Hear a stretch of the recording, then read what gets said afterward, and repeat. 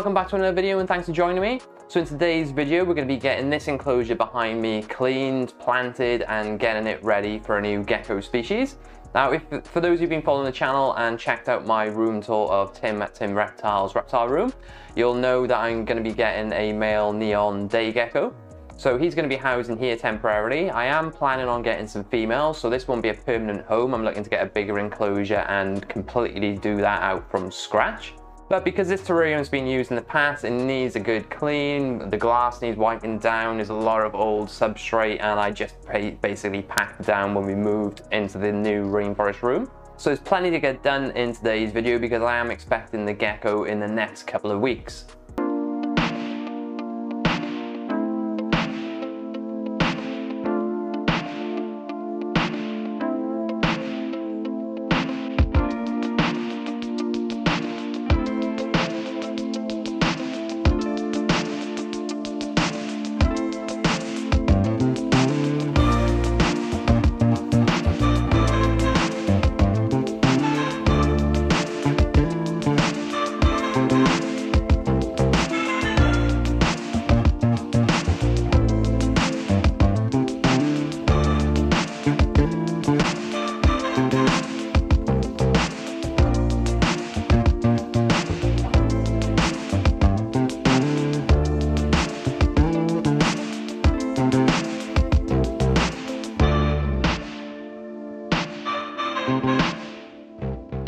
So we've got that looking a lot cleaner. It was stinking the glass, but it was only because um, I used to house my green tree python in this. Um, when, unfortunately, when before, just before we moved, she passed away. But I just packed this tank up as it was and removed most of the substrate and that was about it. And it is just been sat in my spare room up until now, just like this. So it's a lot cleaner. I just use some um, reptile safe um, antibacterial stuff and I'll leave a link for that or something similar in the description. I've just got it all over my hand. So, plans are, okay, let's get it open. So I'll leave a link in the description for some of the videos around this tank. I don't think I ever filmed this tank because originally this was my uh, red-eyed tree frog setup before I started YouTube and then I stripped it out because I, I, this was one of the first bioactive builds I made. But I stripped the original design out and made this for the Green Tree Python, which used to have a water section, which in hindsight, I probably wouldn't recommend because every time they went to the toilet, I had to do a complete water change, which was just not very practical. But there's a false bottom this bit here. So underneath there's some, you might be able to see if I can rip this out. This is just some weed membrane to separate the substrate. As you can see, it's just egg crate there. Um, so that creates a false bottom. So I'm not going to be adding the water feature back because there's the waterfall. So the water used to come out there, run down there into the stream and then fall into the water section. And there used to be a internal aquarium filter. So what I'm probably going to do is I'm probably going to rip these, well, or clip these plastic bits out because I want more room for planting. I've got some bigger plants I want to use. And then I'm probably going to add some um, volcanic mineral at the bottom as a drainage layer, and then we'll fill the old water section up with substrate. But we've got plenty of areas for planting, and we'll get that done as well. But I've been out today to get some plants from one of my local plant places, which is Blassis, and I'll leave a link in the description for them. Really good, definitely recommend going to check them out, support small business, and they actually won an award for small businesses recently. But we've got a clean canvas now to work from, so let's get cracking on with this video.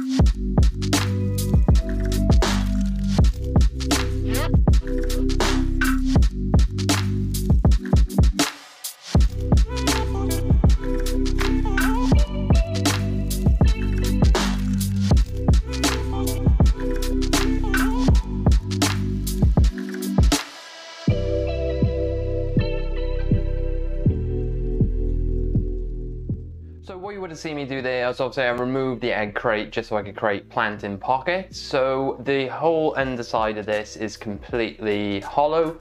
So I needed to put some polystyrene sheets in there just so we could isolate the substrate because I didn't want to have to fill the entire bottom full of substrate. Now I can plant some bigger plants in there, which we have. But this was only like this because historically it did have a water section and like I already said, we're not going to be doing that in this setup.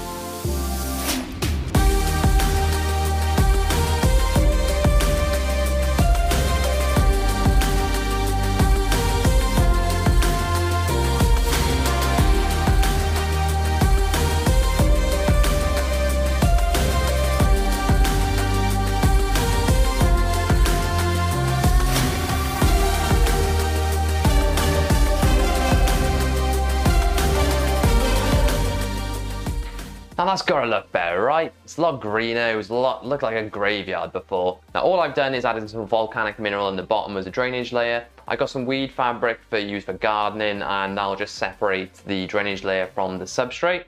The substrate itself, I just use a combination of, a combination of a cocoa fiber brick, some dried moss, some wood chip, and some cypress mulch as well, and just mix those together. Now, as this is an arboreal species, I want to add some more climbing opportunities as well as got some plants left over. Now, adding these climbing opportunities will just allow the gecko to thermoregulate a little bit better and obviously more interaction with the setup itself.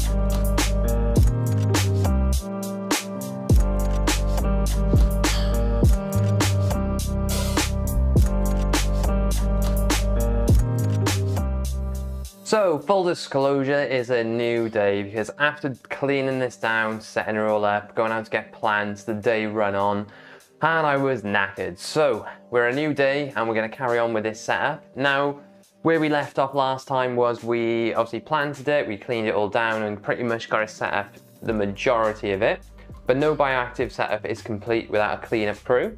But there is a slight problem in the UK at the moment. We can't get hold of any springtails for love no money. Now, I don't know what's happened, but suppliers have just run out.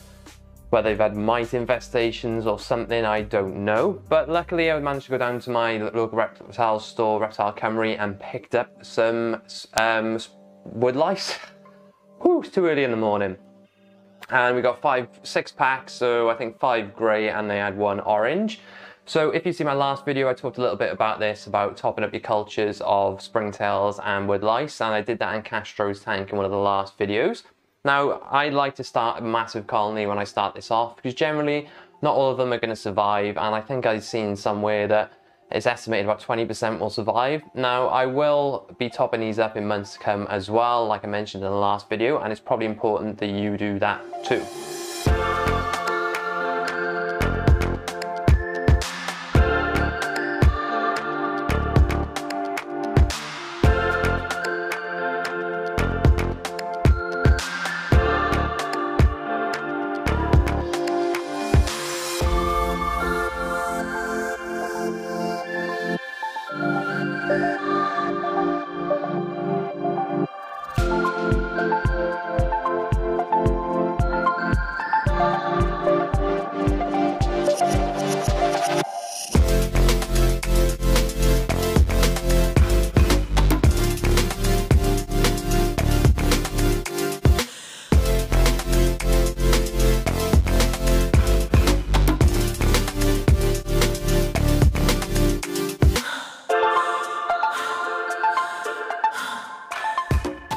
So I hope you've enjoyed today's video. I'm really happy with the way that it's turned out. But like I mentioned earlier, it is going to be a temporary setup because I do plan on getting some females, two or three in the future. So I would like to get a bigger setup overall for the future plans we have. Now we are going to be getting one male from Tim from Tim Reptile, and there should be plenty of space for him for the time being. And you could probably house him in here forever on his own, but I'd like to offer as much space as I possibly can. But if you've enjoyed today's video, there's still plenty to come on this setup. Now, in one of the next videos, I'll be going over the lighting, the heating, watering systems, and everything else in between. So if you're not yet subscribed to this channel, make sure you hit that subscribe button and that notification bell so you don't miss out. As always, I'll leave links down in the description for any of the items we've used in today's video if you want to go and buy something similar yourself. Now these will be affiliate links, so if you do click on these links and buy anything, I will get a small commission. It doesn't cost you any more, it just helps support the channel making more videos like these.